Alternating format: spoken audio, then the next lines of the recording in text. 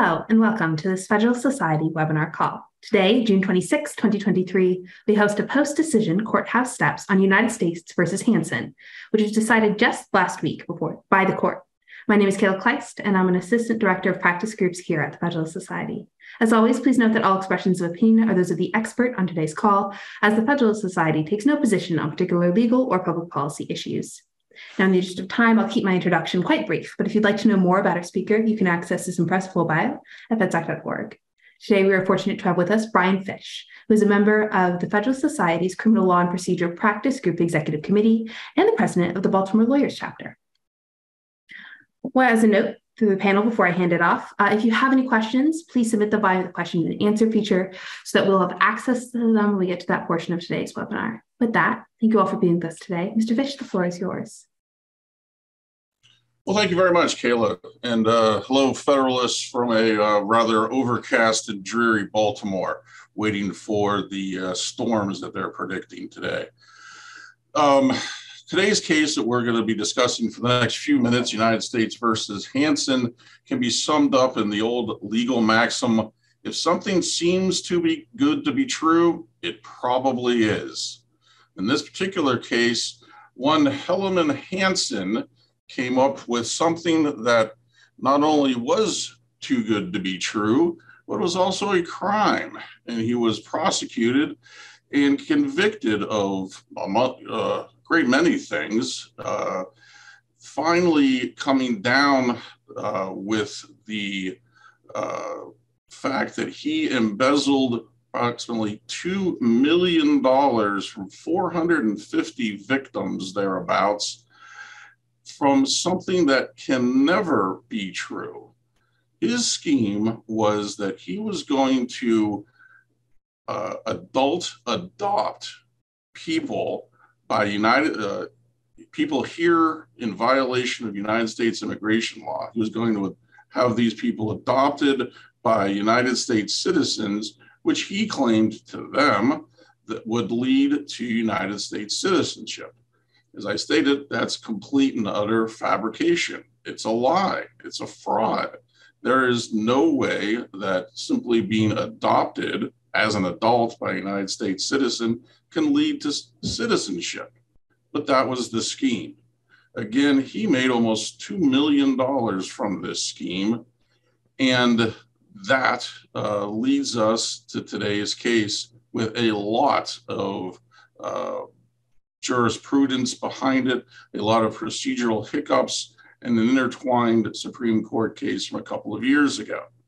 So let's let's get off the this off the bat here. He was convicted, among other things, uh, under Title 8 of the United States Supreme Court, the Immigration Act, Section 1324A1A4, which quite simply prohibits encouraging or inducing illegal immigration. Now, that's where the fight comes from. That term, encouraging or inducing, what does it mean? Is there one meaning that you can get from a Webster's dictionary versus a Black's Law dictionary? And that is what 50 pages or so of legal decision writing comes down to. As I said, this case is intertwined with another case. That case came out a couple, three years ago, also out of the Ninth Circuit, United States versus Sineneng Smith. This case today, Hansen cannot be discussed without discussing Sineneng Smith, such that if this was a boxing match, quite simply today's case would be Sineneng Smith too. In Sineneng Smith, the court took the case, I think, simply so they could slap down the Ninth Circuit for doing something yet again beyond beyond the pale, as the Irish say. In that case, the Ninth Circuit took what was uh, a run-of-the-mill 1324 case. Uh, Smith was inducing folks to stay in the United States in violation of the law no one, either the government nor his lawyers, were arguing the overbreadth doctrine. The case gets to the Ninth Circuit, after obviously a conviction on uh, many counts, including the 1324 counts. And Synetic Smith was arguing the standard issue. They didn't prove their case, yada, yada, yada. It was a run of the mill appeal on the brief.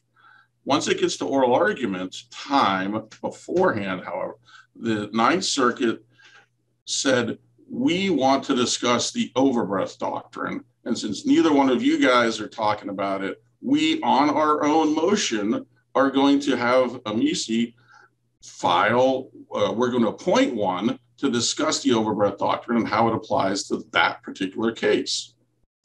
The Ninth Circuit then, on their own motion, heard all of that and decided yes, 1324 did violate the overbreadth doctrine and they dismissed uh, those convictions. The government appeals, the Supreme Court takes the appeal, and in a nine to nothing decision, uh, which was one of the last cases authored by uh, Justice Ginsburg, nine to nothing, they slapped down the Ninth Circuit, in it, which was a relatively rarity. They said they abused their excuse me uh, uh, abused their discretion. Not just was simple error, an actual abuse of discretion to do so. It violated the case in controversy doctrine, and they sent it back. The Ninth Circuit with Synetic Smith, then just using the arguments of, of the government and Synetic, uh, dismissed their appeal and uh, the, sustained the convictions.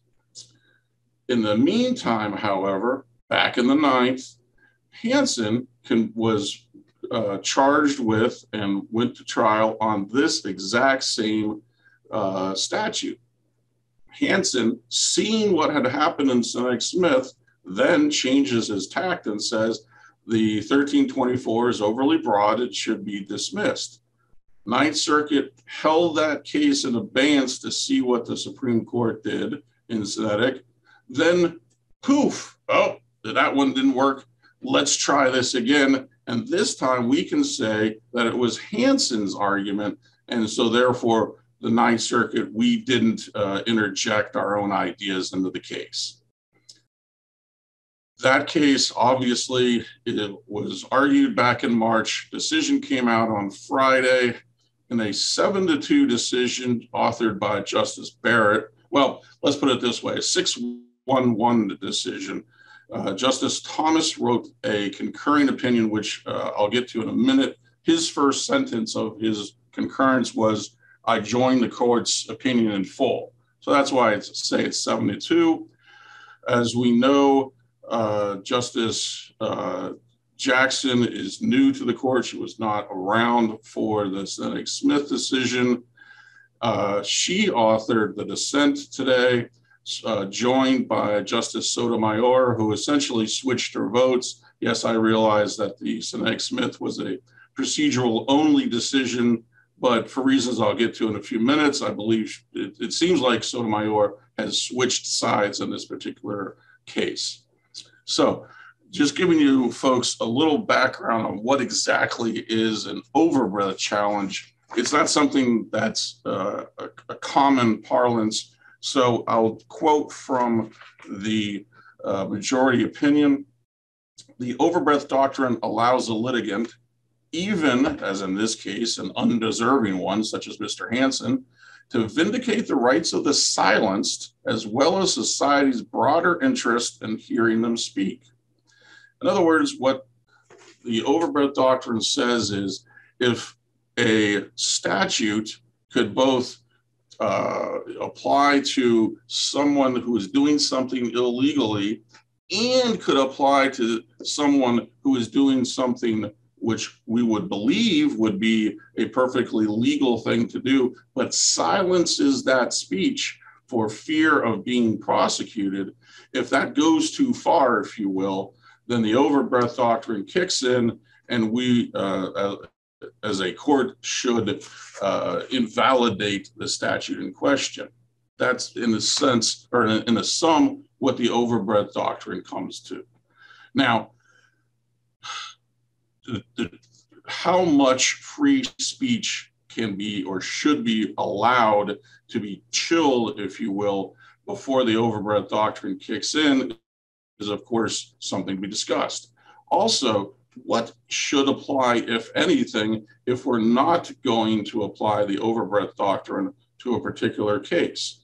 And that simply goes to an as applied circumstance. Is this statute as applied to an individual defendant so overly uh, uh, chilling free speech as to be uh, invalidated and not do it as a uh, uh, excuse me, at, to do it as a case in controversy and not to do it sort of as a extrajudicial or extra legislative layer that the judiciary uh, should not be able to engage in. So we're coming down to the, uh, the nitty gritty of what this case is uh, discusses, and it's really a battle of the dictionaries, if you will. Is the uh, the statute uh, we're discussing 1324, which prohibits encouraging or inducing illegal uh, immigration, or encourage and induce terms of art, or should we be using the common definitions again found in Webster's? The majority, again, seven to two, says that the term encourage and induce are analogous to a standard issue solicit and facilitate uh, terminologies. And because induce, encourage, and induce mean solicit, which is if you solicit a crime, you are itself, uh, in fact committing the crime of solicitation. And if you're inducing someone to commit a crime or a violation of the law, then you are facilitating them, which is also a crime. Uh, both Arizona and this Montana filed briefs at various stages of this today's decision and discussing uh, the, the fact that all 50 states use the terms encourage and induce and no time whatsoever in the course of the last 200 years of jurisprudence has these terms been deemed overly broad. And every single state has them. Uh, my colleague on the panel, on the, uh, uh, the group, Mark Brnovich, then the Attorney General of Arizona, uh, had a laundry list that apparently, and so did Montana in their brief. Justice Barrett uh, quotes from that laundry list of state uh, statutes that use the terms encourage and or induce in the definition of various crimes throughout the country. No one's had an issue with these until today. The, uh, what we're, the main defense argument that is picked up by the dissent is that the history of 1324 goes back to 1880s or so, and that history involves Congress removing or replacing various words in essentially the same very short statute. And that those removed words have changed the statute such that it is now, from obviously from their point of view, overly broad. The Justice Barrett, in her uh, majority opinion, dismisses that uh, over the course of approximately 20 pages, basically says, no, these, this, these uh, definitions, these words have been used for many, many, many, many years. They have what they called, and, all three uh, this, uh, opinions use the term old soil, meaning that they, these terms have accumulated certain meanings in the criminal law aspect such that when Congress uses them, they're not using them uh, in as their common definitions, again, what you would find in Webster's, but is bringing all of that old soil when they're enacting a new piece of legislation, making a new law that uses old terms. They're bringing the old soil of all of those old uh, decisions and all of that old terminology with them when they're making a new law. And so that uh, as this, the current iteration of 1324 goes back to the 1950s, they were simply uh, removing what was were deemed extraneous and uh,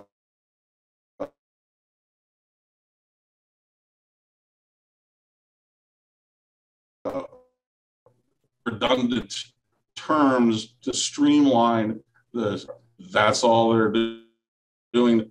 And uh, anything else that by removing words that are extraneous we're somehow changing the mens rea to a particular crime in this case the uh, encouraging uh, illegals to stay in this country. That's simply not the case. And justice barrett does a, a, a bang up job if you will of making these points uh, well. So uh, her main point in this aspect to the case is the terms encourage and induce have a mens rea built into their meaning.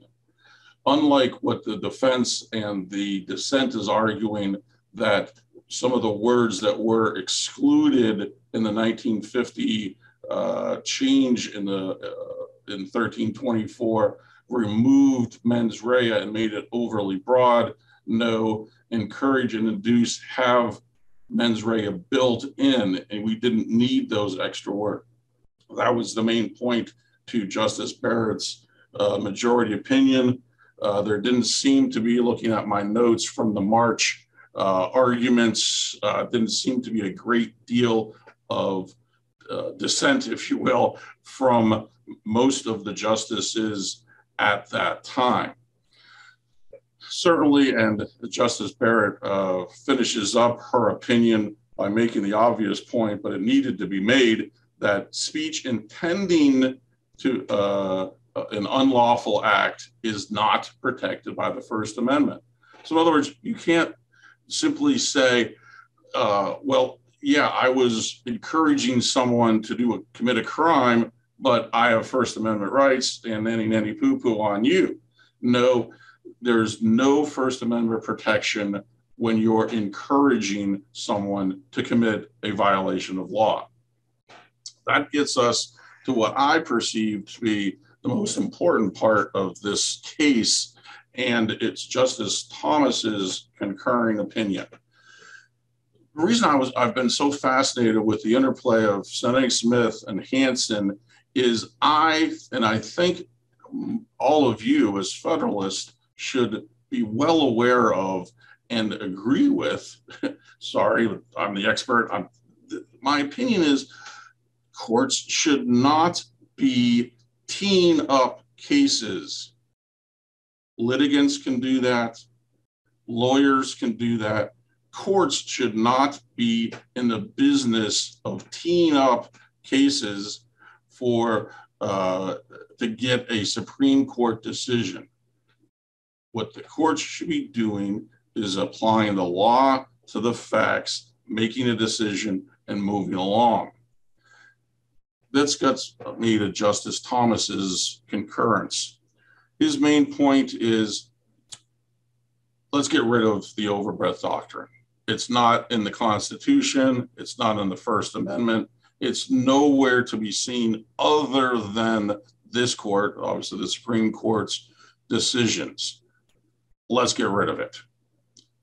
I can, I tend to agree.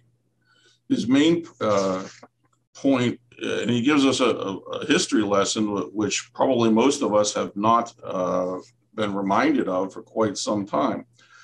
That first of all, the uh, overbreadth doctrine is essentially gives federal courts the power to invalidate lawfully enacted statutes, even if there isn't a case in controversy before them, which flies in the face of the point of our federal judiciary. There has to be a case in controversy to be able to have the judicial uh, judiciary be able to make a ruling on something. That's just the foundational piece of, uh, of how cases get started in our system. Here, what we have is Hansen and, and Smith and a host of other folks saying, yeah, this statute obviously applies to me, but, and it applies to me because of what I did, which was clearly illegal, but because it could be uh, viewed to uh, get other people and those actions out there away from me, that I'm asking you, the court, to invalidate the law, even if it doesn't uh, affect me whatsoever. That's simply not part of our, or should not be. It has been uh, at some level for many years now, but it should not be a part of our judicial process. But it is. And Justice Thomas, and thankfully, a, uh, a reminder uh, of why that's so, why cases should not start in any way whatsoever other than two parties have a case in controversy. Uh, let me check my notes and my tabs here. Here we go from Justice Thomas's uh, concurrence opinion. Uh, the judicial power is only the authority to resolve private disputes between particular parties rather than matters affecting the general public. He goes on, and um, why is that so? Why should courts only adjudicate the case in front of them? And that's, as we all, as Federalists would agree, I would like to think, that judges don't have any particularized knowledge of anything else. They should not be deemed to have specialized knowledge, and they shouldn't be uh, put in a position where they're making policy. And Justice Thomas's main point that he hammers home in this opinion is if you allow the overbreadth doctrine to continue, it simply allows federal courts to make policy, whether it's good policy, bad policy, whether it overturns the legislative policy or the executive policy. we should not be allowing federal courts to make policy, and that's what the overbreadth doctrine does, and he wants to get rid of it. I couldn't agree more. Now, the problem is no one concur, no one joined in his concurrence. So is he an, the outlier on this particular issue? It would seem to be that's the case. I'm hoping not. We shall see. Uh, but I do not think that any court, but especially the Ninth Circuit, which has uh, obviously a long history of getting slap bound by the circuit or by the Supreme Court for just making things up uh, that aren't in the case that's in front of them. We shouldn't be allowing them even greater latitude by continuing to have the overbreadth doctrine be applicable to anything whatsoever. Let's get rid of it. Now, that, let's get to the dissent. As I said, uh, Justice Jackson authors the dissent. Sotomayor joins her in that. And what it comes down to is, is again, the battle of the dictionaries. The dissent would have us use the common language definitions for uh, entice, encourage, and induce. That's where the tension between the majority and the dissent comes into play. What definitions are we going to apply to these words?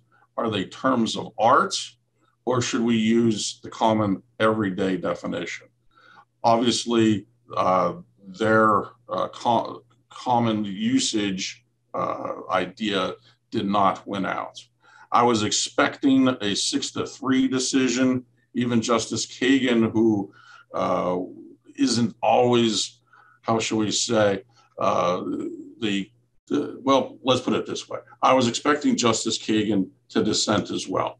She did not. She joined the majority opinion and basically uh, with their understanding, I went back through my notes that these kinds of cases should not be dealt with in an overbreadth doctrine. Those that would be an extreme use of overbreadth, which use would simply say is use an as applied uh, standard on a case by case basis. Looking through my notes of the oral arguments back in uh, uh, March, but I was expecting her to go with uh, the dissent on their definitional aspect to this case. then that 1324 did, in fact, uh, become overly broad when Congress uh, deleted some of the words in the prior uh, iteration of the statute.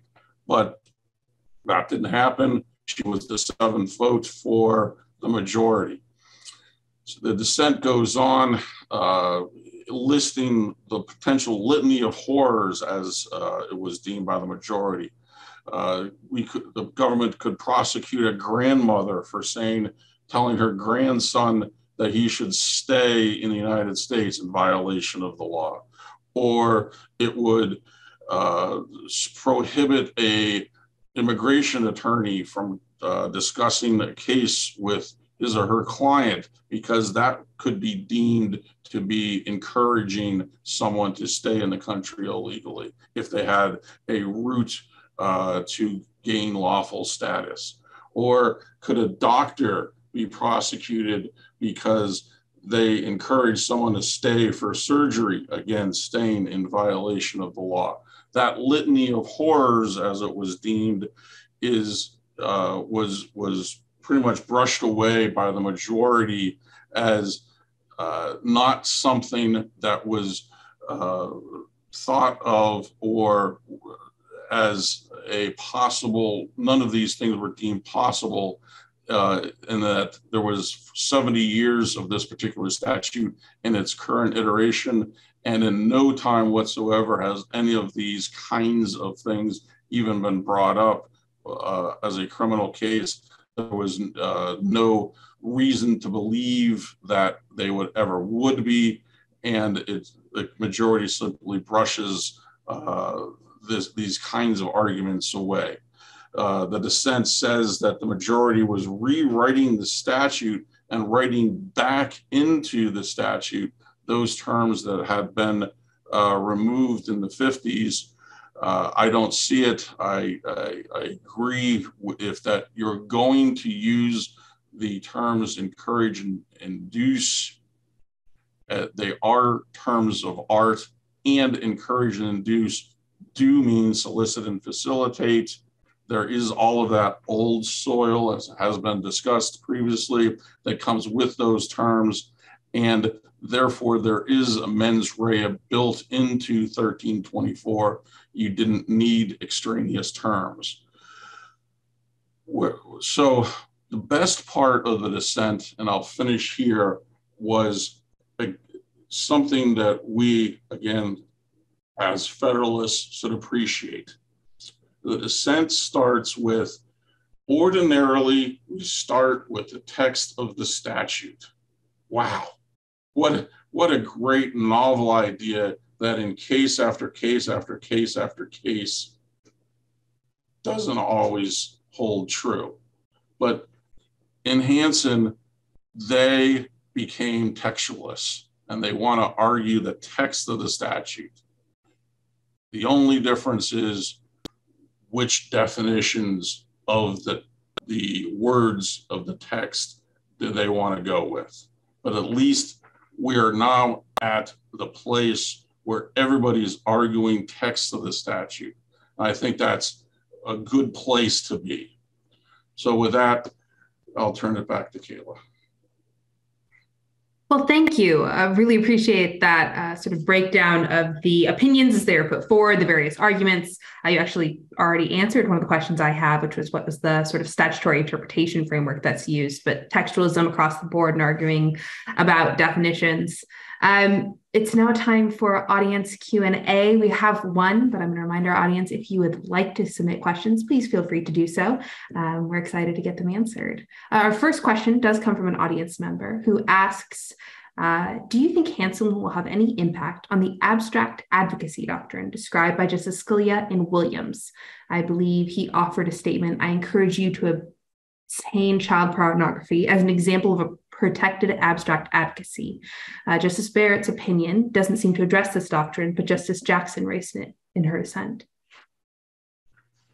And I agree. Uh, Justice Barrett ignores that issue completely. Uh, there was one other issue that uh, the, the, dissent pointed out that Justice Barrett in her decision uh, did not even address, and that was in most of these uh, kinds of cases where you use the terms uh, encourage and induce, you're encouraging a criminal violation. In most, but not all, civil, excuse me, immigration uh, cases, they are prosecuted by the civil authorities uh, from ICE and the Department of Justice Executive Office for Immigration Review. In other words, immigration cases are civil cases. So, can uh, we encourage a civil violation? And does that somehow affect the overbreadth doctrine? As the dissent points out, uh, Justice Barrett does not address that issue. So they sort of hung it there as low hanging fruit. Maybe someone will give that a try. Uh, if, we're simply encouraging a civil violation of, say, entering without inspection, uh, will that some will that be uh, dealt with by the court in a different fashion than uh, Hansen uh, and uh, Smith with their fraud schemes? Would we they deal with it differently? Possibly, we'll see. Uh, but based on today's decision, I don't think that that's going to happen. I think they will, uh, the courts will look at this, look at what happened to the ninth now twice, uh, and say, no, I think 1324 is just fine the way it is, and you're guilty. But it, it's at least out there. It's there's a possibility. Got it. Well, next question for you. You mentioned uh, that you expected this to be a 6 3 decision. Were there any other things that surprised you about how the decision came down, uh, either the way it was decided, how the court broke out, or the rationale of any of the justices? No. It, well, Thomas's uh, concurrence scared me when when I first got the decision. I saw that it was uh, two in the um, dissent, but there was only six uh, in the majority. I'm like, oh no, did Thomas? What what, what did he do? Did he did he go completely in a different direction? And so I was relieved when I got to his concurring opinion and you know read it. You know, you should always hold with, as we all know, we should withhold judgment until we actually know what we're talking about. And so I did, and I'm like, okay, I understand completely. He wants to get rid of the overbreadth doctrine. So I was relieved about that. Um, I was scared when I saw the fact that he had a concurring opinion. If there was something truly uh, an outlier that he wanted to discuss, and thankfully it wasn't. I was disappointed, as I just said, to answer the last question, that uh, Justice Barrett didn't take up the uh, in violation of the law kind of aspect? Does it have to be uh, an encouragement or inducement of a criminal violation, or can someone be convicted of 1324 because they were encouraging or inducing a civil viol- civil, civil immigration violation? That's still out there. I wish uh, Justice Barrett had added one more line. Literally, that would have been it in her decision uh, addressing that aspect because that was uh, a big chunk of a couple of the uh, Amici briefs were making that point. Uh, so it's it is still out there. and I was a bit of a disappointment, but other than that, it came. It, the decisions came out exactly pretty much exactly how I thought they would in terms of the language used. It really comes down to we're fighting about which definition we're going to use are we going to be using a the term of art that is a criminal law context, or are we just going to use Webster's? And that's what it comes came down to. Uh, thankfully, there wasn't anything more than that that I could uh, glean from today's decision. Got it. Uh, following up on that dis- distinction between which dictionary, um, are, are, there other cases where that the, the way this decision came out and the dictionary that was used by the majority could have an effect? Or do we not know sort of what this framework and the dictionary that was chosen, how that will affect other cases? Well, I think that's where the, that term old soil I, I, brought up a couple of times. And again, it's that term uh, is throughout all three opinions. I think that is the best way to analyze a criminal law statute is look at the history of the words in criminal law and not simply the common everyday definition because we as lawyers understand that that sometimes there's literally hundreds of years of history that, that attach uh, itself to words in a criminal law context, especially when you know some of our uh, laws and cases start citing uh, cases from merry old England in the 16 and 1700s. So you bring all of that forward to today. Should we just be using common definitions? Well, I think we're well past that. And I, I guess that's part of the rub from the dissent's point of view. Why shouldn't we be using the Webster's dictionary? Because uh, that's what everybody else uses, not just us uh, lawyers. That's a legit argument but I think that horse is so far out of the barn. Down the road is three counties over. No. Terms have meaning, and you have to look at the criminal law context for the meaning when you have a common law uh, system such as us, where we base it on literally hundreds of years of talking and writing and when you got to bring all of that forward, and that's the old soil that comes with it. Well, thank you. Uh, another question from our audience. Uh, they asked something ab- ab- broader on Justice Thomas's sort of jurisprudence. Um, the questioner asks Justice Thomas has struck out on his own a number of issues digital media providers as common carriers, the continued vitality of New York versus Sullivan, uh, and now Hansen. Will the Academy or media re examine his scholarship as a result of these concurring opinions? I can only hope so. I mean, for many years, Justice Thomas was seen as in, in, an insulting way, Scalia's sidekick. And I think what we've been seeing now for the past several years is that not only was wrong then, it's certainly wrong now. He has his own opinions, his own ideas. Obviously, we can agree or disagree with them, but they are he's well versed in the, the historical context of the Constitution, uh, as is illustrated by his uh, concurrent opinion today. He's talking about uh, the New York uh, uh, state law and how those uh, laws were either upheld or dismissed by the super legislative body that existed in 1777. He brings all of that forward, all of that history.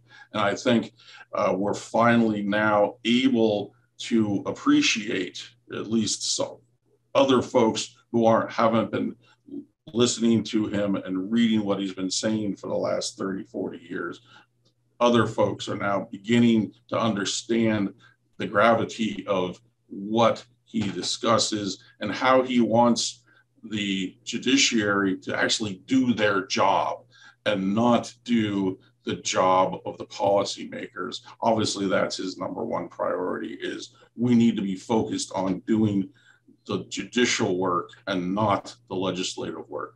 So I'm hoping that uh, that is coming out there, whether the mainstream media uh, cares or will discuss it or not, or if they do, uh, just dismiss him, which is what I perceive will be happening, that's a, that's a different issue. I also think that one of the good things of COVID was we actually got to hear Justice Thomas. Uh, for years, he wouldn't say a word in oral arguments, and he always made the point that I want to hear what the lawyers say. This is their time to shine. This is their time to argue to me their position. I didn't want to waste their time. But then with COVID, we got to hear everybody ask their questions. We got to hear what Justice Thomas was focusing in on. I think that was maybe, maybe the only good thing about the COVID situation, but it was a good thing. And so now I think because of that, we are uh, appreciating Justice Thomas even more than we had before. Nicely said. Thank you. Uh, another audience question, reverting back to uh, your comments on old soil. Um, what if there isn't any old soil? Does Hansen create a presumption in favor of inferring specialized meaning or using dictionary definitions?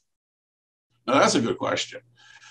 Thankfully, though, is in most uh, cases there is old soil. But yes, uh, as Congress continues to write new laws, some of which have no basis in anything uh, of yesterday, I do believe that if there's no old soil to attach, then yes, until something can be attached to uh, a word that hadn't been in the criminal law context previously, we should be using the common definitions until something begins to attach itself to those words and phrases. That's what begins the old soil process. Old things uh, get into the soil, they attach themselves there, they the soil uh, gets uh, used by the plant and up it shoots with a little bit of water and some sunlight. So until the soil, the water, the sun attach themselves to definitions, if it's a brand new uh, phrase or a brand new word that's being introduced into the criminal law lexicon, I think, yeah, what does Webster say? Because we have nothing else to start from. So we have to start from somewhere. Why not? Why not the common definition? Fair enough. Need a starting point, I guess. Um, if you don't yes. have soil, then then you got to go somewhere. Um, next question for you. Obviously, when we did the uh, courthouse steps right after the oral argument, uh, the questions all revolved around what what's the court going to decide? What are the uh, sort of arguments that are going to be made? Now that we have the decision, what are the questions that remain unanswered, if any? Well, as I mentioned a few minutes ago, whether a civil law violation is enough to encourage and induce uh, when the, the terminology is a violation of law? Does it have to be a violation of criminal law?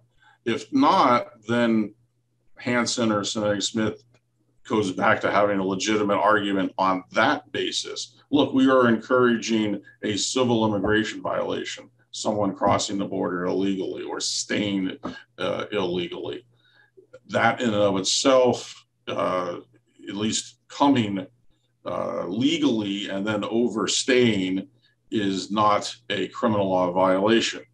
Coming across the border without proper documentation is, in fact, a criminal law violation. It's uh, normally not done so. It's normally handled by civil immigration uh, courts, but it could be. So there, that that play, that issue is still out there. Well, it remains to be seen how uh, some courts would uh, handle that. Like I said earlier, I think now that there's been two 1324 decisions, my assumption is the courts will be now we're not we're not going there. Does, is there are there any other issues? Yes, as just discussed, if there's a new, uh, not maybe not so much in the 1324 case, but again, new uh, criminal law violations that don't have the old soil. Uh, as I sit here, I start thinking about technological issues and new crimes that are being created, if you will, uh, based on uh, stealing uh, IT stuff. And a lot of the ways you go about making those steps are new. And so there's not the old definitions might not apply. They uh, might have to uh, generate new terms. And so those kinds of issues outside 1324 will continue to develop as technology develops. Uh, as to a, a more 1324 decisions, I don't I don't see anything more than what we've been seeing in the last few years with uh, 1324 A1 A4 uh, prosecutions, which was uh, this case. It's going to be those kinds of multi-victim, multi-million dollar fraud schemes, the one-offs where someone gives, you know, their nephew $500 to go, go from Tijuana to San Diego. Yeah, it could be prosecuted. Will it be? Unlikely. Would it become a Supreme Court case? Highly unlikely, simply because of the way uh, this, you know, U.S. Attorney's Office is, especially at the border, are overworked, undermanned. They're not going to be taking those one-off kinds of cases. They're going to be taking $2 million fraud schemes like this. So I don't see any great change in how the government is going to be prosecuting 1324s going forward. Got it. Well, thank you. And uh, barring any final questions from our audience or any final thoughts on your end, uh, we can wrap it there and give everybody back a little bit of their afternoons. On behalf of the Federalist Society and myself, Mr. Fish, thanks so much for joining us today and sharing your valuable time and expertise. Thank you to our audience as well uh, for joining and participating. We welcome listener feedback at info at fed-soc.org. As in always, keep an eye on our website and your emails for announcements about other upcoming virtual events. With that, thank you all for joining us today. We're adjourned.